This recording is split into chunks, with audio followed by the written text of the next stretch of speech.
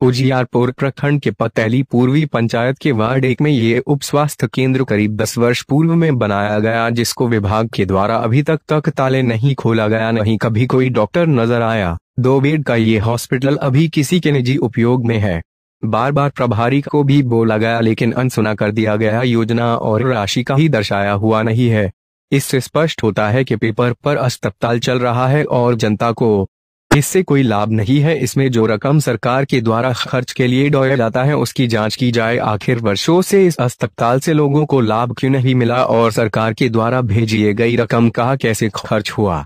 इसमें लोगों का कहना है कि बहुत बड़ा घोटाला साबित होगा, जिसमें योजना पट भी नहीं लगाया गया। आज इस महामारी में लोगों को पंद्रह वर्ष पूर्व की याद आ रहा कि यहाँ पुस्तकालय पर डॉक्टर रहा करते थे और दवाई भी राहत था जिससे गरीब लोग अपना उपचार आसानी से करा लेते थे। आज सरकार सुशासन का गुणगान कर लोगों से वोट ले तो लेते हैं, लेकिन उनके सुरक्षा के नाम पर सिर्फ़ कागजों पर सारी सुविधा जनता को मिल रहा है। अगर जाँच की जाए तो निश्चित ही इसमें सरकारी पैसे का दुरुपयोग की घोटाला सामने निकल कर नज़र आने की संभावना है।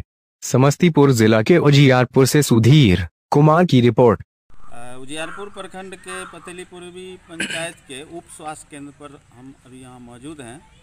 यहाँ पे 10 वर्ष पूर्व एक उप स्वास्थ्य केंद्र बनाया गया है। लाखों रुपए की लागत से बनाया हुआ ये दो बेड का अस्पताल, जो अभी जर्जर हालत में है। आज तक कभी इसको ताला तक नहीं खुला और आज इसका खिड़की के बार इसके अंदर जो है सो निजी व्यवस्था निजी यूज़ किया जा रहा है किसी लोगों के द्वारा।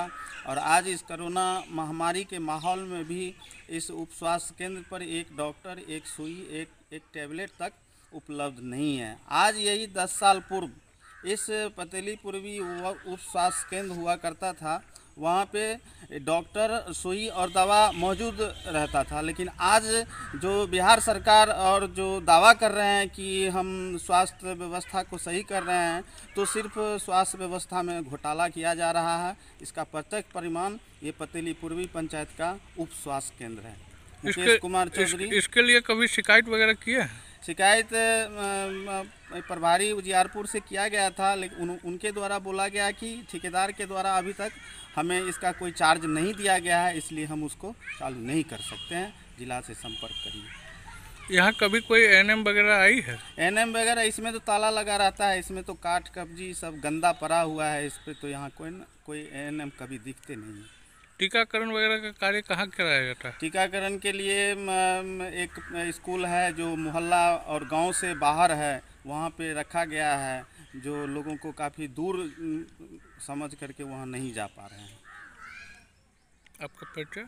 मुकेश कुमार चौधरी जिला महासचिव कांग्रेस।